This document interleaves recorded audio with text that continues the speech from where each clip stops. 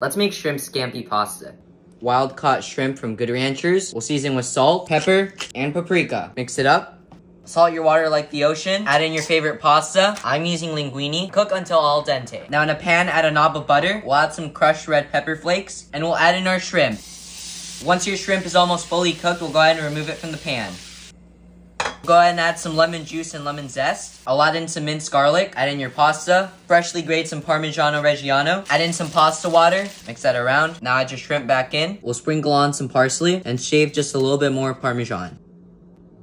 And enjoy! This is absolutely delicious.